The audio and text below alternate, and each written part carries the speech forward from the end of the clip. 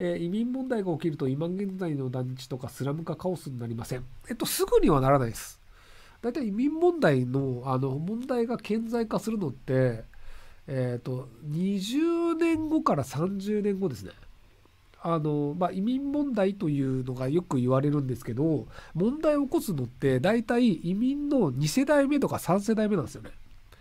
あのまあ、例えば僕そのフランスに今住んでるんですけどなのでフランス移民としては1代目なんですよ。なのであのフランス語そんなに喋れないよねとかあの、まあ、アジア人として差別を受けるよねとかあ、まあ、あのでも僕が選んでここに来ている以上それは当然だよねっていうので別に僕それがストレスにもならないし当たり前だと思ってるんですよ。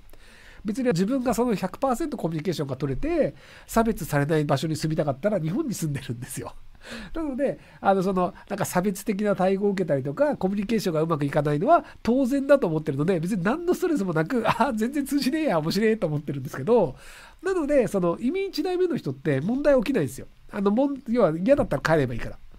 で問題が起きるのって2代目3代目でなのでその2代目3代目でじゃあ子供のうちとかって別になんかあの子供時代の問題っていろいろあるよねっていうのででも問題があったとしてもトラブルを起こす能力がないんですよ。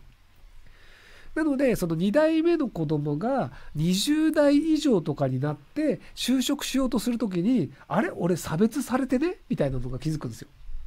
でまあうまくいく場合もあるしうまくいかない場合もあるしってなるんででただ2代目の方もなんかあの子供のうちに連れてかれた子たちとかもある程度理解はしてるんですよ。なんか俺もともと日本人だったのになんか子供のうちにそのなんかフランスとかに連れてこられてなんかあの全然なんか言葉通じねえしマジムカつくってなるけどまあでも親がそういう状態ででこっちに来なきゃいけないのが理解しててなんですけど3代目とかになるともう生まれた時からフランスにいますと。でフランスで生まれてフランスの教育を受けてフランスで育ってフランスで就職するとしようとすると「えでもお前イスラム教じゃね?」とか言われて就職できないんですよ。えマジで？みたいなあの表向き言われないですよ。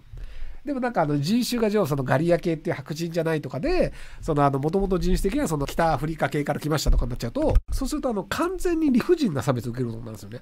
その俺が選んできたわけでもないのにでずっとフランス人と同じ教育を受けて同じ生活をしているのになんで差別されんの？じゃあそこで歯向かうかっていうのになって割とそのあの、まあ、昔あったその ISIS っていうイスラム国とかに行ってテロを起こしましたって人ってその2代目3代目が多かったんですよ。なので1代目の移民が問題を起こすことって実はほぼないんですよね。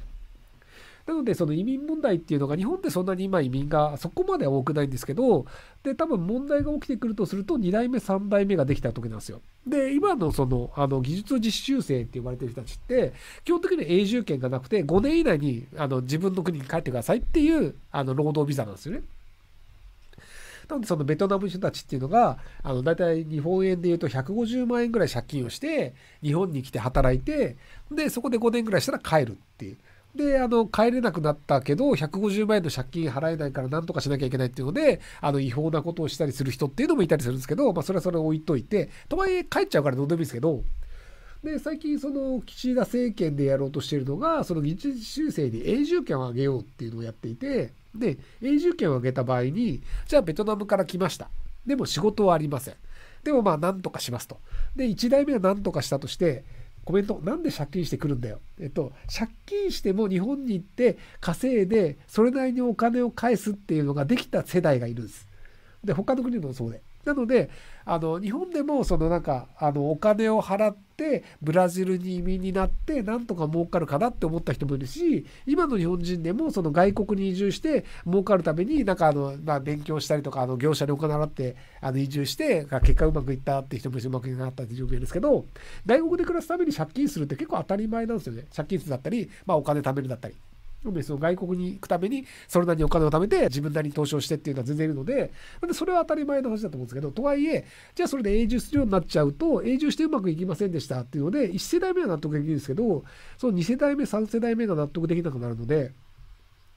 多分日本で移民問題が起こるっていうのは2040年とか2060年とかそこら辺からあの移民問題が大きくなるんじゃないかなと思ってます。本当にすいません。いや、大丈夫ですよ。あの間に合間に合ってるんで大丈夫です。あほん本当間に合ってるんで大丈夫です。全然間に合ってるので、あのご後日、すいません。あのおお疲れ様です。おやすみなさい。おやすみなさい。はい。